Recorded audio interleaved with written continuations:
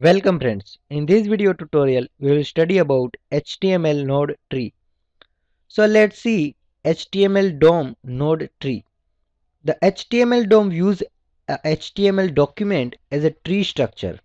The tree structure is called a node tree. All nodes can be accessed through the tree. Their contents can be modified or deleted and new contents or elements can be created. The node tree shows the set of node and the connection between them. The tree starts at the root node and branches out to the text node at the lowest level of the tree.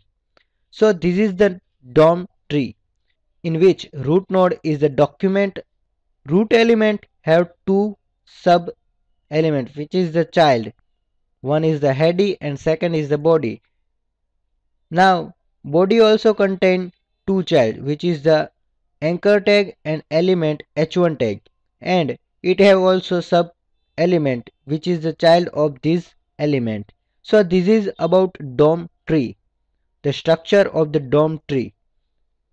Now let's see and discuss node parents, children and siblings. The nodes in the node tree have a hierarchical relationship to each other.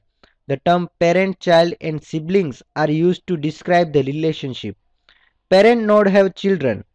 For example, HTML root element have two children. One is the head and second is the body. Children on the same level are called siblings, brothers or sisters. In a node tree, the top node is called the root. Every node except the root has exactly one parent node. A node can have any number of children.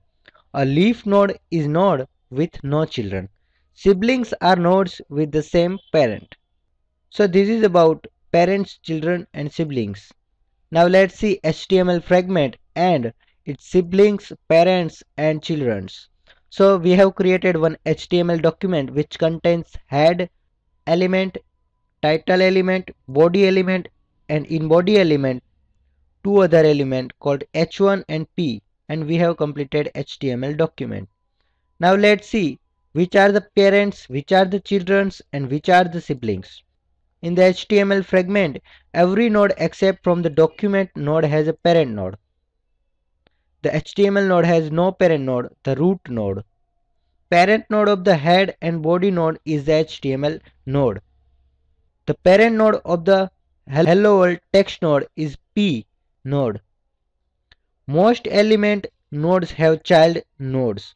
The HTML node has two child which is head and body as described in this fragment. One is the head and body which is the children of HTML. Head node has one child called title node. Title node has one child text node DOM tutorial. The H1 and P nodes are siblings. Both child nodes of body which is shown in this fragment.